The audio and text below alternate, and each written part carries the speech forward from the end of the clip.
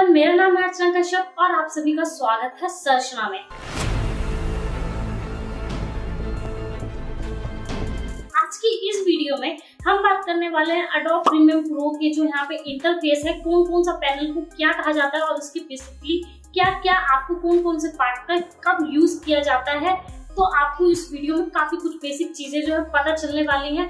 Video जो है ज़्यादा बड़ी लंबी नहीं होगी वीडियो शॉर्ट होने वाली है। सो so, अगर आप मेरे चैनल पे नए हैं तो चैनल को सब्सक्राइब कर लें वीडियो को लाइक कर दें ताकि आपको इसी टाइप के और भी वीडियोस जो है देखने के लिए मिल सके वीडियो एडिटिंग के बारे में जाने। तो so, अगर आपको नहीं पता है अडोब प्रीमियम प्रो जो है आप कैसे इंस्टॉल करें तो आप मेरे को ऊपर आई बटन पे आपको ऑप्शन मिल जाएगा। आप डायरेक्टली वहाँ से वो वीडियो जो चेकआउट कर सकते हैं लेकिन उस वीडियो को बाद में चेकआउट करना सबसे पहले आप ये जान ले कौन कौन से पैनल में इसका यूज़ किया है। अगर आप अडोब प्रीमियम प्रो को जो यहाँ पे ओपन करते हैं तो आपको यहाँ पे चार इंटरफेस आपको देखने के लिए मिल जाते हैं। तो आपको बेसिकली थोड़ा सा कंफ्यूजन होगा कि आप यहाँ पे कौन कौन से जो है टाइप कौन कौन सा कब यूज़ किया जाता है और बेसिकली सबका क्या क्या यूज़ है। सो डोंट वरी मैं आपको बहुत बेसिक इजी वे में आपको सब कुछ बेसिकली बताने वाली हूँ, किस चीज़ का कब यूज़ किया जाता है। इसके लिए हम बढ़ते हैं अपने कंप्यूटर स्क्रीन तो जब आप पहली बार अपना अडोब प्रीमियम प्रो ओपन करेंगे तो आपको इस तरह का इंटरफेस आपको देखने के लिए मिलेगा। तो आप इसमें थोड़ा कंफ्यूज हो सकते हैं कि आपको कौन से पार्ट में क्या करना होगा, आपको बिल्कुल समझ नहीं आएगा।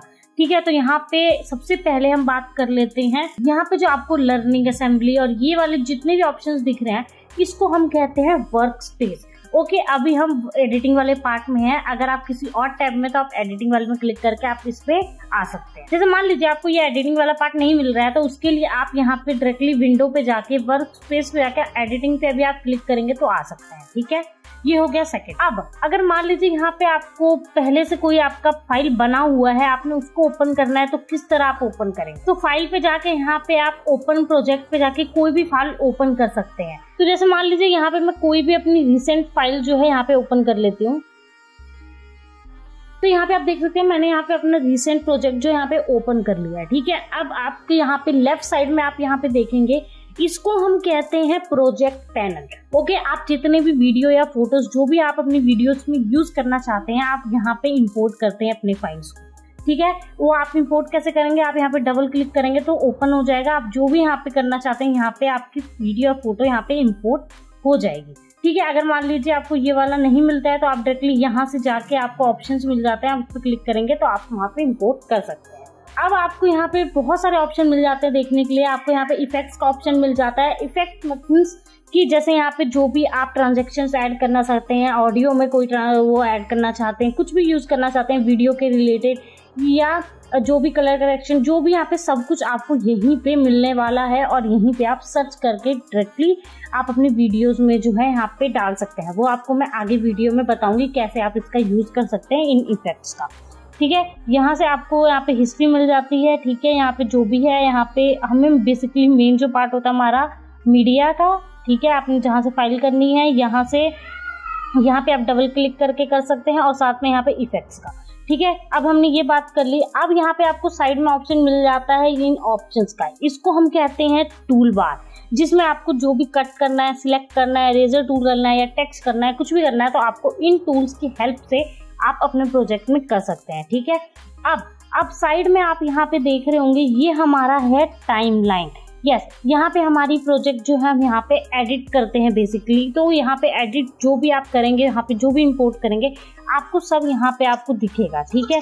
तो यहाँ से तो यहाँ पे आपको साइड में दिख रहा होगा वीडियो वन वीडियो टू आपको मैं एक बार इसको बड़ा करके दिखाती हूँ। वीडियो वन वीडियो टू है ना? आपको इस तरह के बहुत सारे फुटेज दिख रहे होंगे, ठीक है? तो बेसिकली इसमें होता क्या है, आप जहाँ से ये वीडियो वन देख रहे हैं, ये हमारी, जहाँ पे आपको सेकंड दो लाइन दिख रही है। बेसिकली इसके ऊपर हमारे जितने भी पार्ट हैं, ये हमारे वीडियोस हैं या फ़ोटोज़ हैं जिसको हमने यूज़ किया हुआ है, ठीक है? इसके नीचे जितने ऑडियो वाले आपको साइन दिख रहे हैं, उसके नीचे हमने ऑडियो को यूज़ किया है, ये हमारी वीडियो की क्लिप है एंड ये हमारी बैकग्राउंड म्यूज़िक है, या कुछ भी आप अपने हिसाब से रखना चाहते हैं, उस हिसाब से अपनी ऑडियो आप करेंगे। ठीक है? एक बात का आपने ध्यान रखना है, जो फुटेज आप जितना ऊपर रखेंगे, वो आपको जल्दी दिखाई देगा। ठीक है? जैसे मान लीजिए, जैसे ये वाला मान लीजिए, ठीक है? तो यहाँ पे मैंने ये वाली जो है, अगर मैं इसको डिलीट कर दूँ तो आप देख सकते हैं, मैंने जो पीछे बैकग्राउंड लगाई है, वो वाली आपको शो हो रही है। ठीक है? तो जो आप सबसे फ्रंट पे रखेंगे, वो सबसे पहले आपके स्क्रीन पे दिखाई देगा। तो इस चीज़ का आपको ध्यान रखना है। यहाँ पे साइड में आपको ये जो दिख रहा है, ये ऑडियो डेसिमल है। यहाँ पे जो आपकी ऑडियो आप प्ले करेंगे तो आपके साइड में कितने पे वो ऑडियो अप डाउन हो रहा है, वो आपको देखने के लिए मिल जाएगा। ठीक है? ये जो है टॉप पे आपको जो दिख रहा है, इसको हम कहते हैं प्रोग्राम मोनिटर प्रोग्राम मोनिटर में क्या होता है, आपकी फाइनल वीडियो आप जो भी एडिट करते हैं, वो आपको स्क्रीन पे ये दिखाते हैं। जो भी आप इस वाले पैनल पे एडिट करते हैं, वो आपको इस पैनल में शो करता है कि आप क्या आपने एडिट किया है, ठीक है? इसको हम कहते हैं प्रोग्राम मॉनिटर जिस तरह मैंने आपको कहा। यहाँ पे आपको बेसिकली बहुत सारे सैम्पल्स वगैरह देखने को मिल सकते हैं, यहाँ पे आपको मिल जाएँगे। इसको हम आगे किसी और वीडियोस में कंटिन्यू करेंगे, ठीक है? अब यहाँ पे हम बात कर लेते हैं ये जो आपको टॉप में लेफ़्ट साइड दिखाई दे रहा है, ये इसको हम कहते हैं सोर्स मॉनिटर। ठीक है, सोर्स मॉनिटर में बेसिकली क्या होता है, यहाँ पे जैसे मान लीजिए, मेरे को कोई भी यहाँ से मैं कोई भी एक वीडियो उठाती हूँ, ठीक है? ये वाली वीडियो मैंने यहाँ पे इंपोर्ट कर दी, ठीक है? लेकिन इसमें कोई चेंजेस नहीं आएँगे। तो यहाँ से अगर मैं वीडियो चलाऊँगी तो आप देख सकते हैं यहाँ से मेरी वीडियो यही वाली वीडियो सेम सो रही है। हमारी ओरिजिनल वीडियो ठीक है? ये हमने एडिट किया तो आपको यहाँ पे कितना पार्ट अपना, आपने डायरेक्टली यहाँ पे इम्पोर्ट कर सकते हैं। अगर आप करना चाहते हैं तो यहाँ से कर सकते हैं या फिर तो यहाँ पे अभी आपको इफ़ेक्ट कंट्रोल में कुछ भी नहीं दिखाई देगा अगर आप क्लिक करेंगे। तो अगर आपको इसमें देखना है कि क्या होता है तो बेसिकली आप किसी भी फुटेज पे, किसी भी फ़ोटो पे आप क्लिक करेंगे ऑडियो पे क्लिक करेंगे तो आपके यहाँ पे आपने क्या क्या उस वीडियो में यूज़ किया है, आपको ये सारी चीज़ जो है यहाँ पे शो होती है। ठीक है, आपने कोई भी ट्रांजेक्शन यूज़ किया हो या फिर आपको वीडियो को जो है आपने स्केल करना हो शॉर्ट करना हो, कुछ भी करना हो तो आपको यहाँ पे इफ़ेक्ट कंट्रोल्स में आके उसको एडिट करना होता है, ठीक है? ये चीज़ हमने, अब हम जान ली कि ये बेसिकली किस चीज़ पे ये चारों पार्ट जो है यूज़ होते हैं, ठीक है? अब यहाँ पे आपको टैब जैसे मैंने कहा कलर के लिए। आपको कलर ग्रेडिंग करना है तो आप कलर वाले टैब पे आके आपको बहुत सारे ऑप्शंस मिल जाते हैं। यहाँ से आप कलर ग्रेडिंग करेंगे।